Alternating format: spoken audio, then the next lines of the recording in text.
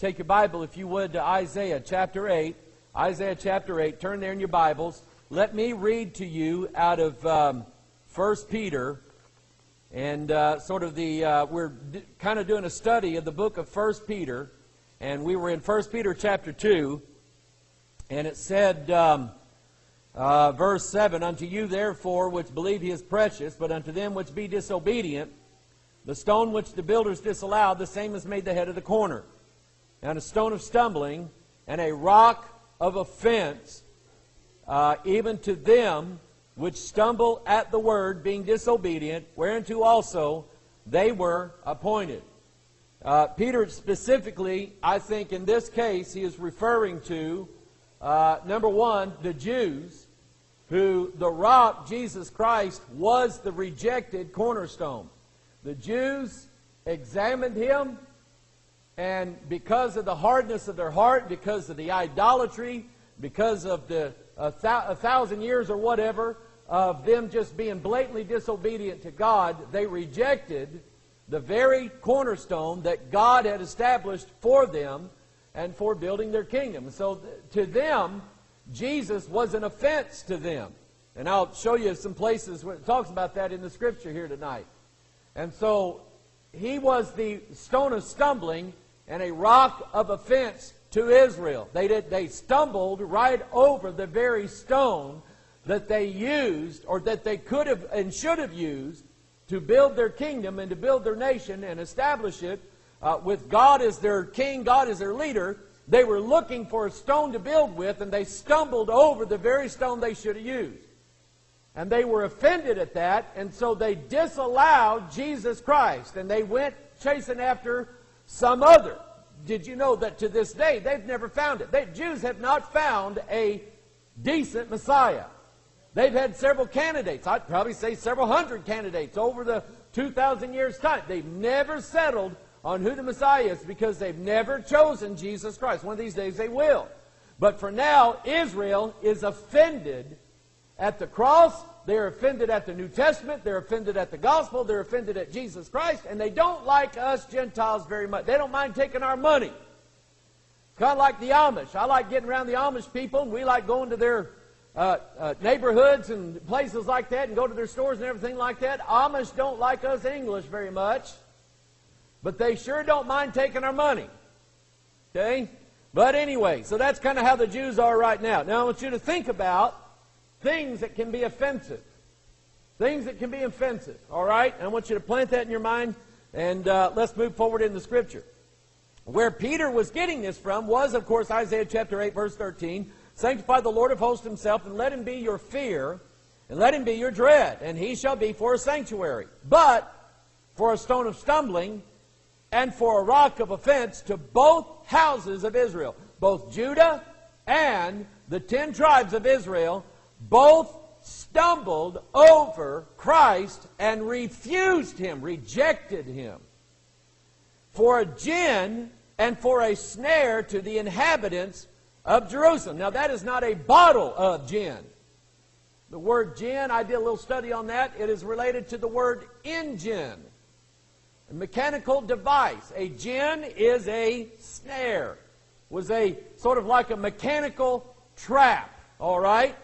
And that's to them that when Jesus came in the form of which he came in, that was a setup for Israel. God knowing that they would reject him. And so they did.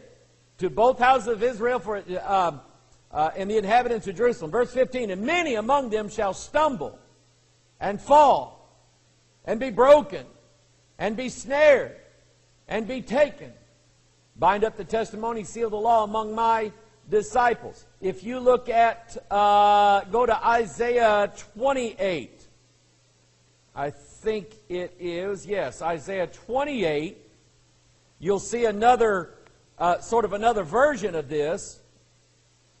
In Isaiah 28 11, for with stammering lips and another tongue will he speak to this people. Stammering lips was Moses. God spoke to Israel through a stammerer, Moses. That's why they don't understand. That's why they don't understand the law. They don't understand it. They can't understand it because Moses was a stammerer. But then, another tongue. When God established the new covenant, He established it in a new language, not Hebrew. This also was a gin and a snare to them. And here, think about it. Here Jesus comes along, last book of the Bible, book of Revelation. He says, I am the Alpha and Omega. First and last letter of the Greek alphabet, not the Hebrew alphabet. That was, the, that was an offense to Israel. Israel wanted their Messiah to speak Hebrew, want to be one of these good Jewish boys. Going to speak Hebrew, going to speak the language of our forefathers. Here Jesus comes along and he says, Eloi, Eloi, lama sabachthani. And they have no idea what he's saying. And then he comes along and says, I am the Alpha and the Omega. If the Jews, for all of those, what, 90 some odd years, had their questions about Christ, it was settled right then and there. He's establishing a new covenant in a new language. This was an offense to them because Greek was the language of the Gentiles and they knew it and they wanted nothing to do with it. How dare the Apostle Paul go out preaching and writing his epistles in that Greek language? How dare he do that? Leave the language of his forefathers. How dare he do that? Well, he's just preaching to whom God told him to preach. And he said, if the Jews won't accept me, here, go speak Greek to all the Greeks out here. They'll accept you because you'll come preaching in their language. So anyway, he said, stammering lips in another tongue will he speak to this people. Uh, verse 12, to whom he said, This is the rest wherewith you may cause the weary to rest, and this is the refreshing, yet they would not hear. God, God would have given them their time of rest and refreshing at this time, but they wouldn't hear it. So this is what he said. But the word of the Lord was unto them precept upon precept, precept upon precept, line upon line, line upon line, here a little and there a little. And look at it, what it says again, that they might go and fall backward and be broken, ensnared, and taken. God had, God had every intention of tripping Israel up and causing them to fall. Why? Because the fall of them is the rising up of the Gentiles and the salvation of the Gentiles. So now think about this. Paul deals with this in Romans chapter 11. So if he says, if the fall of them be for the glory of the, of the Gentiles rising up to Israel, how much more then the fall of the Gentiles be for the glory of the rising up of Israel? God's going to save his people. Amen? He's going to save his people. So now, uh, let me just run through some. I got something very important I want to share with you tonight, so I'm going to move through some of this very quickly and kind of understand what he's saying here. In Matthew 11, 6, Blessed is he whosoever shall not be offended in me. The Jews rejected Jesus. Even Peter, even Peter the Jew, the night that Jesus was, uh, uh, the night before Jesus was to be crucified, what did Peter do three times? Third time he did what? He cursed. He was offended. What, what do you call me? A, a, a Christian? I never. Okay? Matthew 13, 21. Now, let me just let me stop right here and apply this. Young people, listen to me. Listen to preacher tonight. Don't ever be ashamed to tell people you go to church. Don't ever be ashamed of your Bible. Don't be ashamed of the God that saves you. Don't be ashamed of Him. You don't have anything to be afraid of. You don't owe anybody any apology. You are a Christian. You go to a Bible believing church. It's not popular nowadays, but there's nothing wrong with what you do, and there's nothing wrong with what we believe. Don't be offended by Jesus Christ. Whoso, and blessed is he whosoever shall not be offended in me. Matthew 13, 21. Yet hath he not rooted himself. Here's, here's your um, stony ground people. What is the deal with stony ground people? They get offended. Yet hath he not rooted himself, but doeth for a while, for when tribulation or persecution ariseth because of the word, by and by he is offended. Some people they think this salvation deal is pretty good. They think this, oh, I'll, I can get saved and I can go to heaven, have all my sins. Oh, that sounds good. But then you got, you've seen it, you've seen it, you've seen it, I've seen it, we've all seen it, where somebody will come in for a while until the wrong thing is preached to them. And when the wrong thing gets preached to them, they're out. They say, "I never uh, listen. That, I, that, that he offended me. That preacher, that preacher knew what I was doing and singled me out in front of everybody. I don't think that's right." First of all, the preacher did no such thing. The Holy Ghost did. I don't sit and I, listen. I don't call Google and get your search history. But that's what happens. They get offended. Something out of this Bible gets preached. You can talk to, I, I give you a whole phone list of preachers to call and ask them, has anybody ever been offended at things that you preached right out of the Bible and left your church? Every one of them is going to say, yeah. And nowadays it seems to be happening more and more. Matthew 13, verse 54, when he's come into his own country. Watch this now. Jesus came to his own country.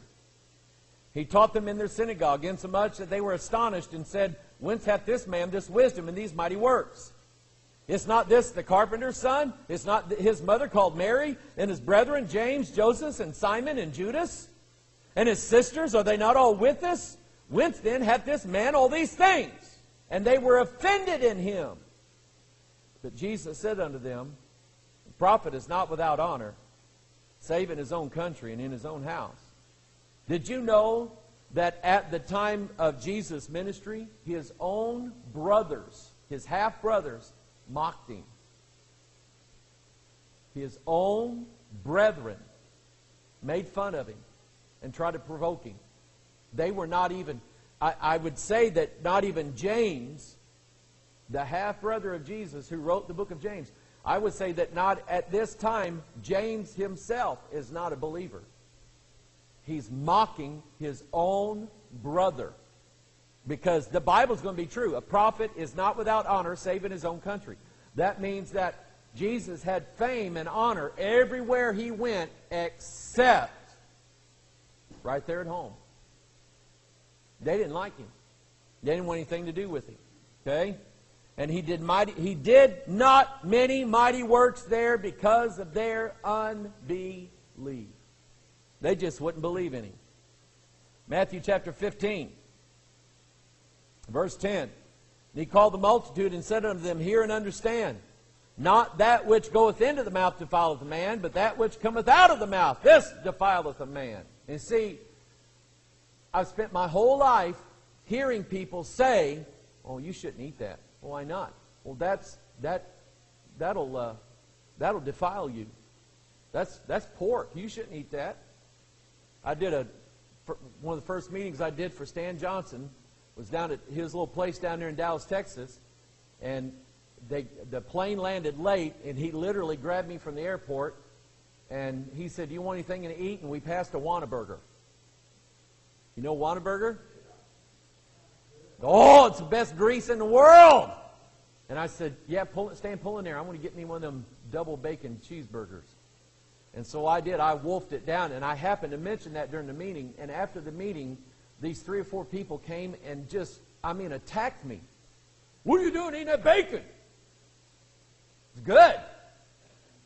Oh, that files you. That, don't you know we should?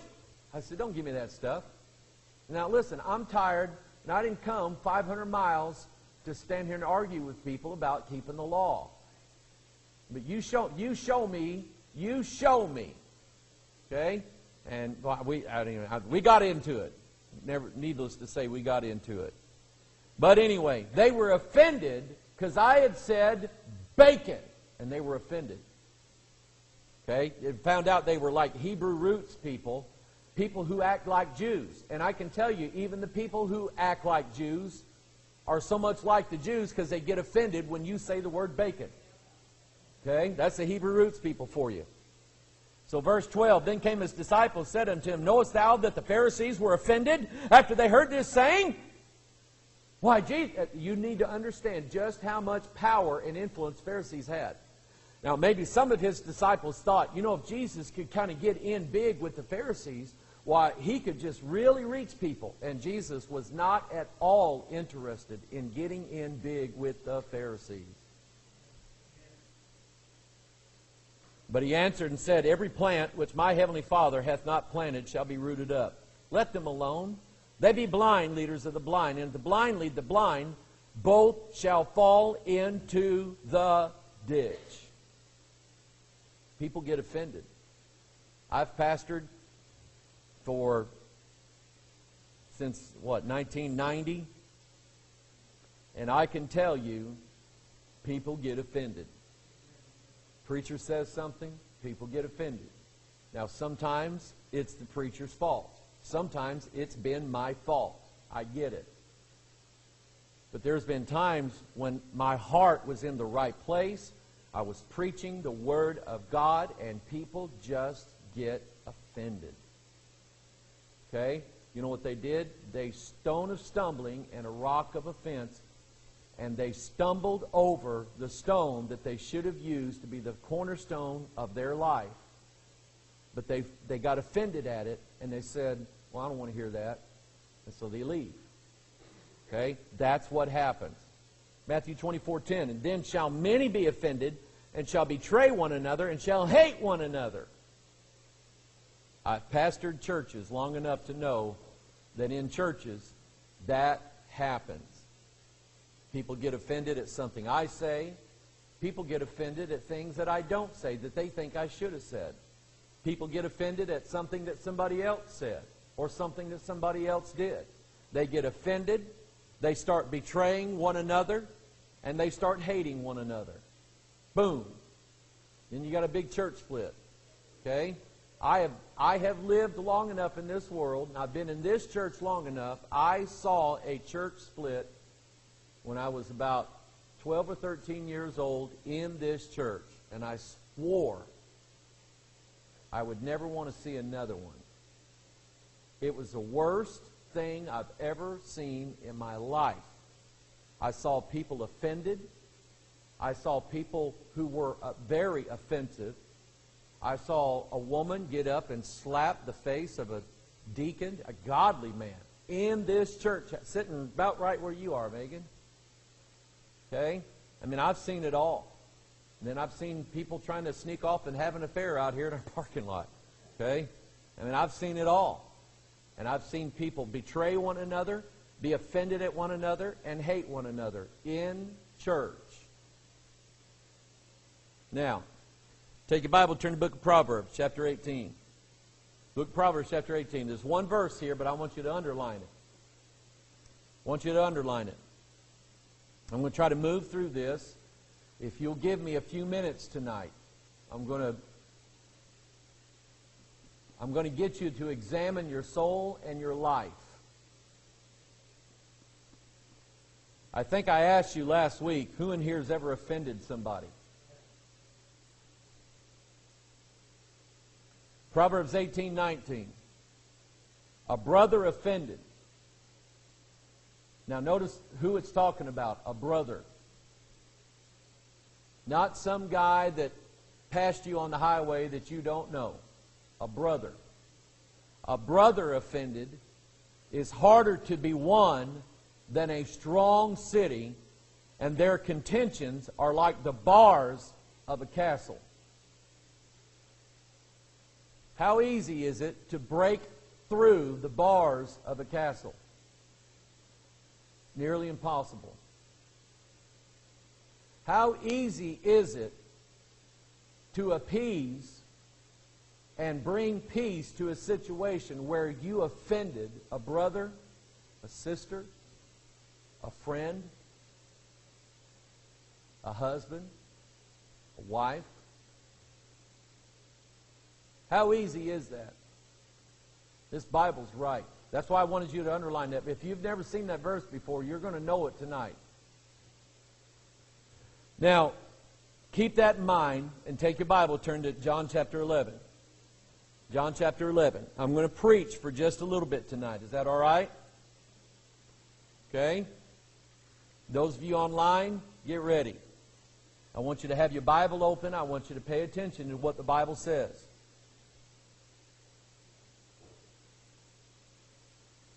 This was one of the hardest messages I ever had to sit through. It's one thing to listen to Reg Kelly on tape. You can shut him off when you want to. But when he's standing here preaching it in your church, it's hard to tell him, now, Reg, would you stop preaching for a little while? That's enough. Okay? I couldn't do it. What I was doing was sitting in the church pew, squirming, hurting, under deep conviction. John 11, 18. Now Bethany was nigh unto Jerusalem, about 15 furlongs, furlongs off. And many of the Jews came to Martha and Mary to comfort them concerning their brother. Then Martha, as soon as she heard that Jesus was coming, went and met him. But Mary sat still in the house. Then said Martha unto Jesus, Lord, if thou hadst been here, my brother had not died. Now I want you to look at this. I'm going to give you the characters here. Jesus is Jesus, He's the Savior. Lazarus is somebody that you know that is lost. It is somebody that you know that is lost. Or somebody that is backslid and out of church. The Bible says when you're lost that you're dead in trespasses and sins. So Lazarus is a lost family member, he's a lost friend, he's a lost co-worker, or he's a, let's say he's a former church member. Backslid. Okay? Maybe not even really saved yet. Martha is a typical church member. She is all about assigning blame for Lazarus being dead. Lord, it's your fault. Why, if you would have been here, my brother had not died. Now, what Martha's guilty of is going to be apparent here in a little bit. Okay? Verse 22 But I know that even now, whatsoever thou wilt ask of God, God will give it thee. Jesus saith unto her, Thy brother shall rise again. Martha said unto him, I know that he shall rise again in the resurrection at the last day. Jesus said unto her, I am the resurrection and the life. He that believeth in me, though he were dead, yet shall he live. And whosoever liveth and believeth in me shall never die. Believest thou this? She saith unto him, Yea, Lord, I believe that thou art the Christ, the Son of God, which should come into the world. Now, verse 28.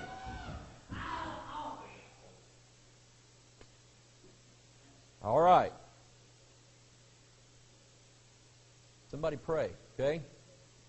Verse 28. When she had so said, she went her way and called Mary her sister secretly, saying, The master is come and calleth for thee. As soon as she heard that, she arose quickly and came unto him. Now Jesus was not yet come into the town, but was in that place where Martha met him.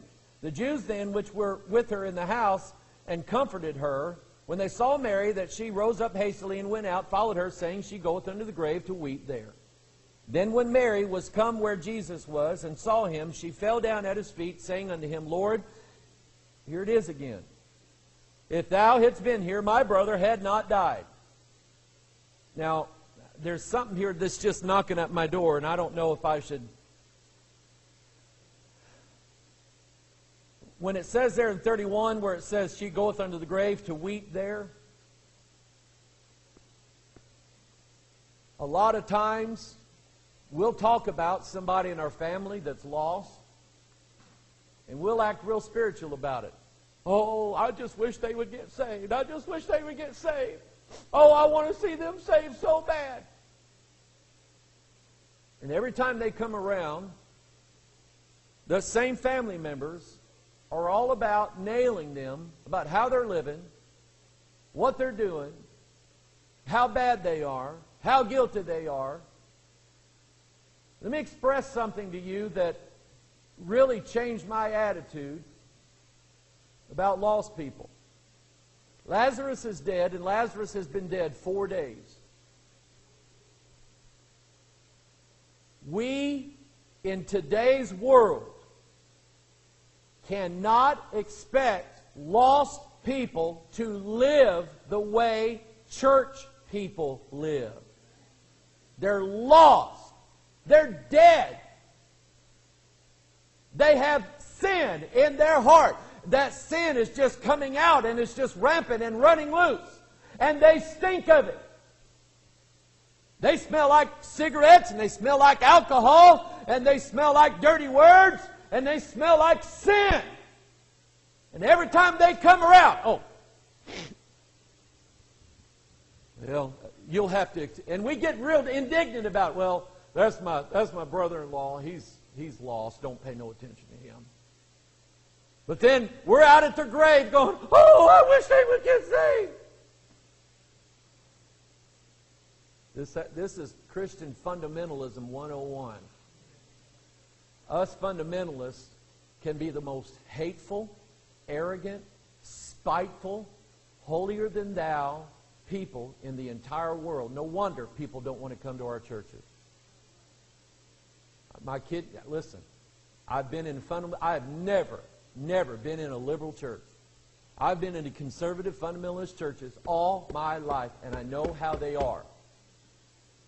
Holier than thou, act like that we're better than them, act like that we don't do anything wrong, act like that, oh, the world, they're all that. You can, that not only are they going to hell, let them go to hell. That's how we are sometimes. Very judgmental. Verse 33 When Jesus therefore saw her weeping, and the Jews also weeping, which came with her, he groaned in the spirit and was troubled. And he said, Where have you laid him? Now I want you to pay attention to your Bible. Where have you laid him? They said unto him, Lord, come and see. John 11, 35, Jesus wept. Who is he weeping for? Who's he weeping for? Huh? He's weeping for Lazarus. Lazarus is his friend. So what do you get out of that, Pastor? Jesus was a friend of sinners. Lazarus is the sinner. And Jesus is weeping for him. Remember uh, when the angels rejoice? Is it do the angels rejoice every time I ask somebody to say amen at my preaching? When do they rejoice? When a sinner comes to repentance. Jesus weeps for the sinners because he's their because he's their friend. And in some cases, you listen to me. In some cases, maybe he's the only friend they got. Because sometimes it certainly ain't the church people. Because we get too embarrassed when we're around them. Like they're going to dirty us up or something like that. Okay? And I am just as guilty. So Jesus wept. Then said the Jews, Behold how he loved him. See it? Verse 37. Good night, guys. We love you. Thank you, Ron. Just made my whole day. And some of them said, Could not this man which opened the eyes of the blind have caused that even this man should not have died? And again, what was Jesus let him die on purpose? I mean, the greater miracle was not going to heal him before he died. The greatest miracle was to heal him after he died. Because, like I said, people get healed from diseases all the time. Medicines kick in. Surgery works. Okay? My back don't hurt hardly at all anymore. Now, maybe that was God, maybe, it, but it, you know, if I would have died in surgery, and then Jesus would have brought me back to life, that would have been better than my back being healed. I'd have a far better story to tell everybody. You see what I'm saying? Listen, God knows what He's doing. You quit quest, you quit doubting Him. So what if He's going to let somebody die? So what? So what if the prophet promised the Shunammite woman that she was going to have a child and then God turned around and let that baby die? In her arms. God had a greater plan. and it was to bring that child back to life. Okay? Yeah, when so and so in your family was young, yeah, they, they went to church with you when you all were little, and uh, you were hoping maybe they would get saved, but it just didn't take. God had a far better plan than saving them when they were kids. Who in here got saved when you were a kid? Who didn't? See that? God had a far better plan for you, Melissa. John, God had a far better plan for you. Boy, I need this. You have no idea how I need this. Now look at verse 38.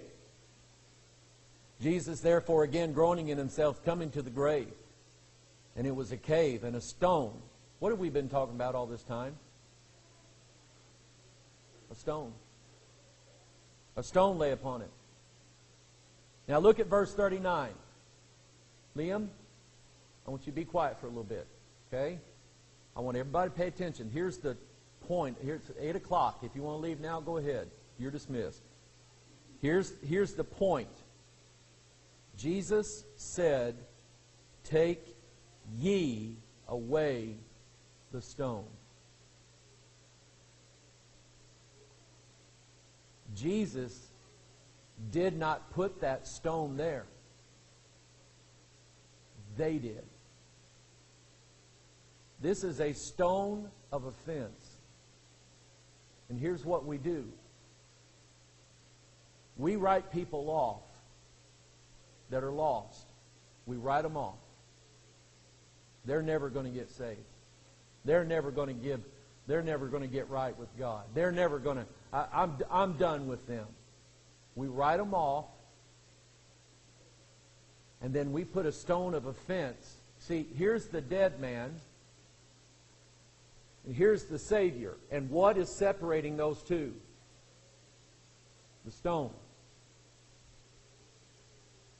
The stone is what is keeping the dead man from the resurrection man. And who put it there? They did. That's why he told them to take ye away the stone.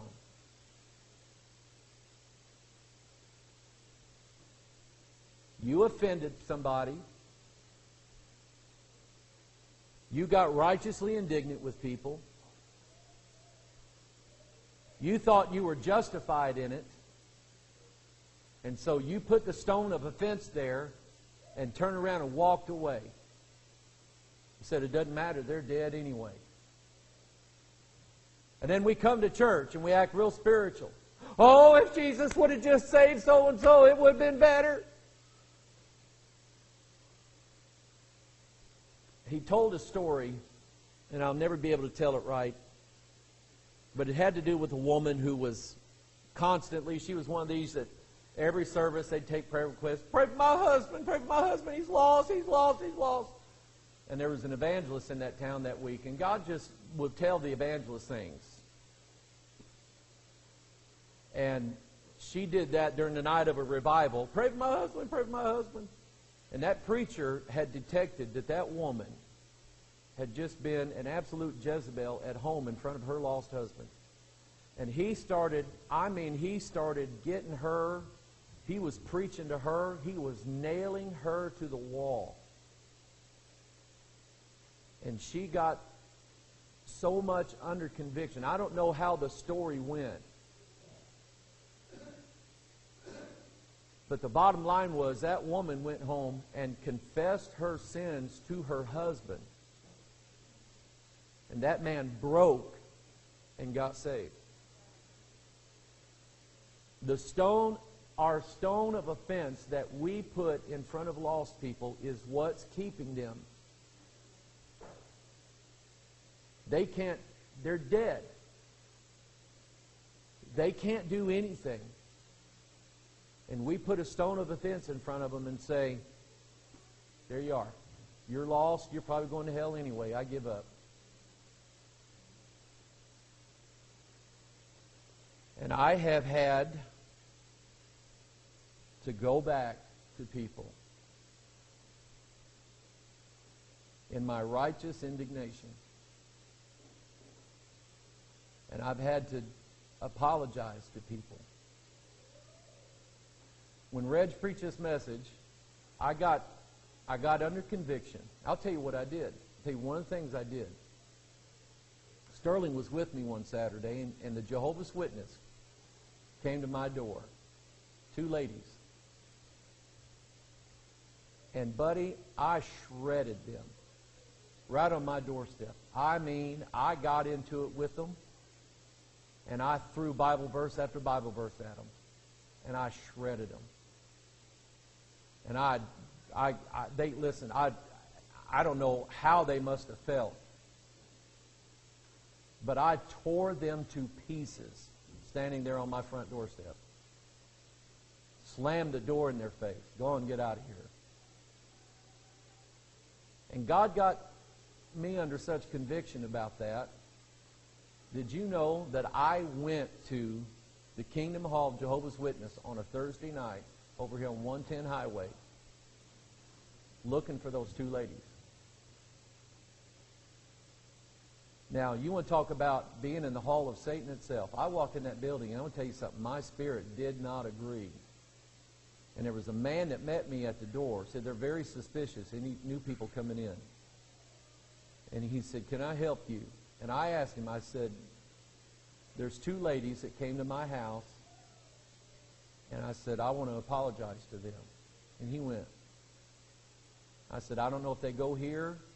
Well, he said, There's another one out at Cedar Hill. Where do you live? And I told him. He said, You're in the Cedar Hill district. I said, Well, I said, if you know of them, and I described them, I said, if you know of them, would you relay the message? They were out at, and I gave them the address. I said, they were out at my house on a certain Saturday, and I said, I just about called them every clean name in the book. And I said, would you let them know that I am very sorry for how I treated them? And they, none of them knew what to say. And afterward, I talked to Brady about it, and he knew the ladies. And I said, and I told the guy, I said, now, I do not believe that you guys are right doctrinally. I said, but I was wrong in how I treated those two women. Would you let them know that I'm very sorry? And I turned around and walked out. Okay, now that does not a guarantee that these two ladies are going to be in heaven with me for all of eternity. But I'm the one who rolled the stone of offense there. And it was my responsibility to roll it away so that the light of the Savior and his word could reach into the tomb of the dead man. How did Jesus raise that man from the dead? With his word. And what's holding, what's preventing his word from reaching into their heart is the stone of offense that you put there. So anyway, let's look at it. Take ye away the stone, Martha. Martha, the sister of him that was dead, saith unto him, Lord, by this time he stinketh. You see the protest? By this time he stinketh, Lord. We, we don't. And I'm going to be honest with you. There are some things that even church people don't want uncovered.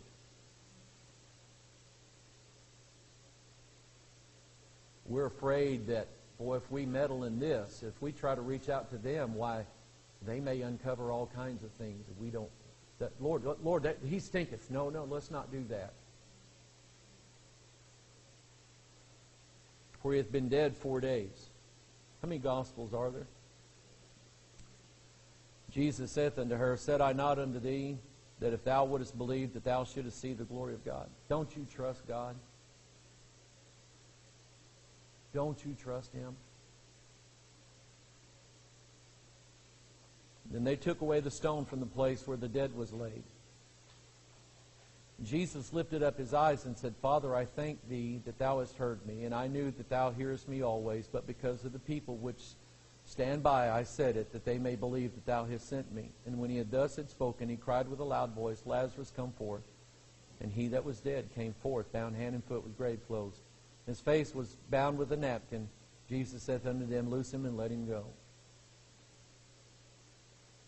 And you would not believe the things that I've had to apologize for to people. Okay?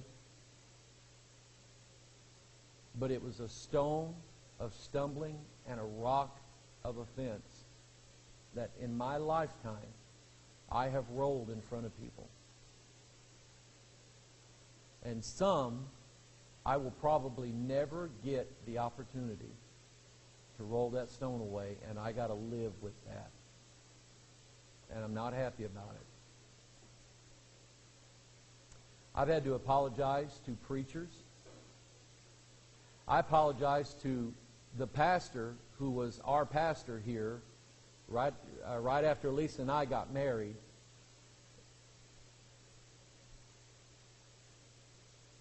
And I tried to have him run off.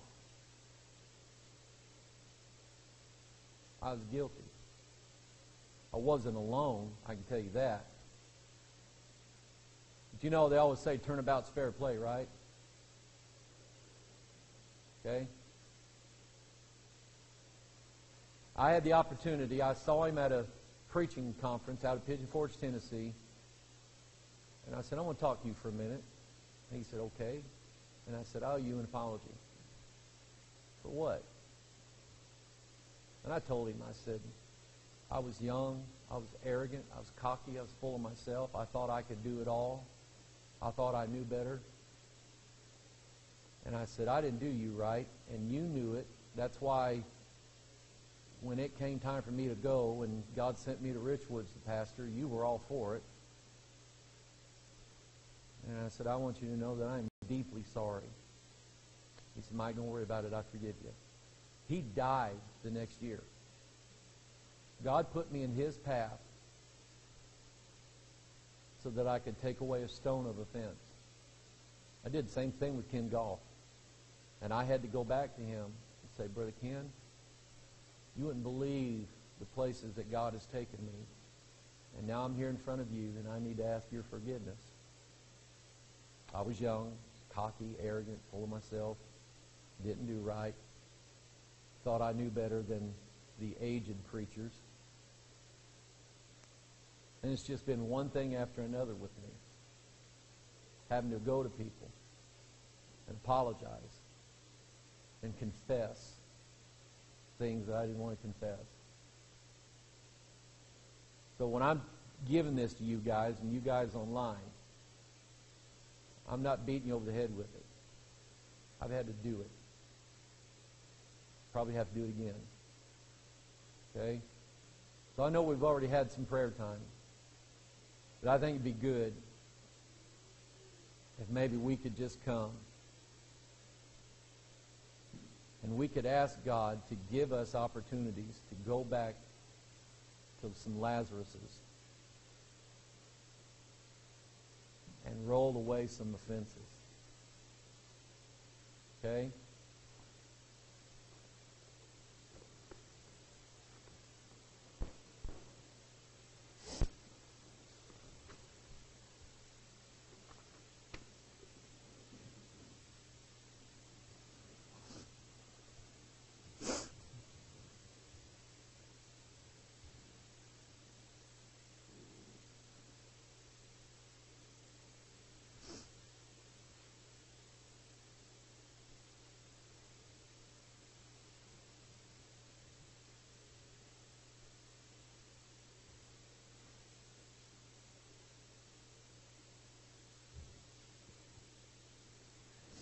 Father in heaven, to be real honest before you and before your people today, my pride and my flesh hates preaching this. Because it means that I have to humiliate myself to some people and confess things that I don't want to confess and apologize for things because I have laid stones of offense toward people. Some of them, Lord, I, I know that I've done it. And Father, there's no doubt in my mind that there's some people out there in this community or in this county or who have come this way, God, that I have offended. Not in a righteous way, not in a gospel preaching way, but I have offended them and I'm not aware of it, but they're not around.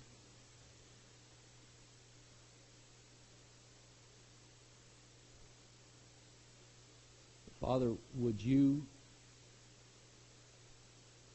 would you help me take away the stones of offense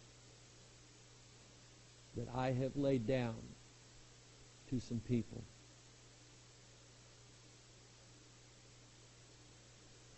I'm already, Lord, fighting off what I'm asking you. But God, before I die, I would like my conscience clean. And maybe not everybody that I do this, Lord, is going to be saved. I'm not in charge of that.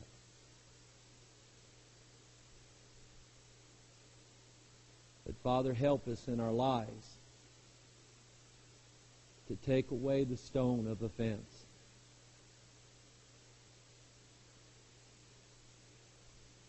I pray, dear God, Lord, that you would be kind to us and merciful to us, Father. And Lord, this this kind of uh, this kind of lesson, Lord, is hard. It's hard to do because there's things in us, God, that don't want to do it.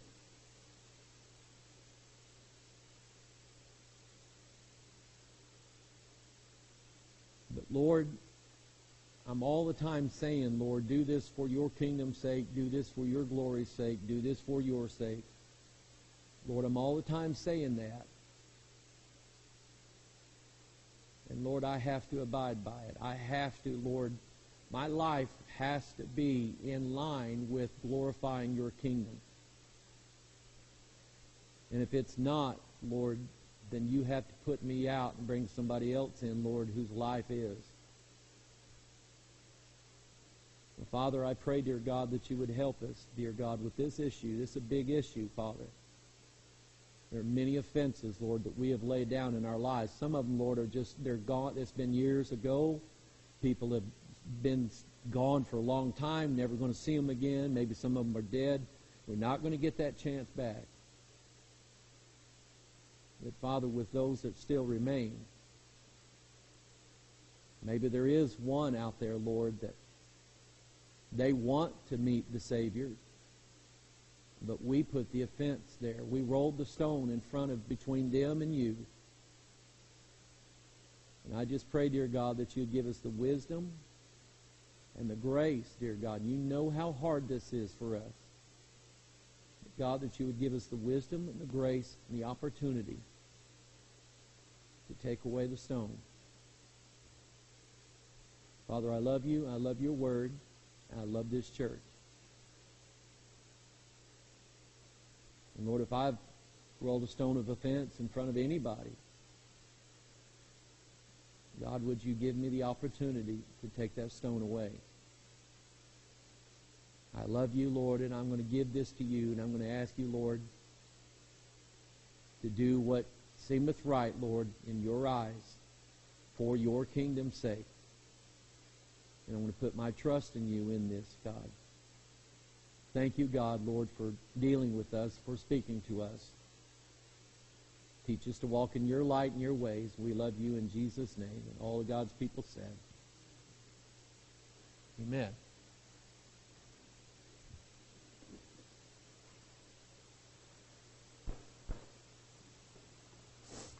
You would not believe how my flesh is fighting that off. You now believe. Let's stand to our feet tonight.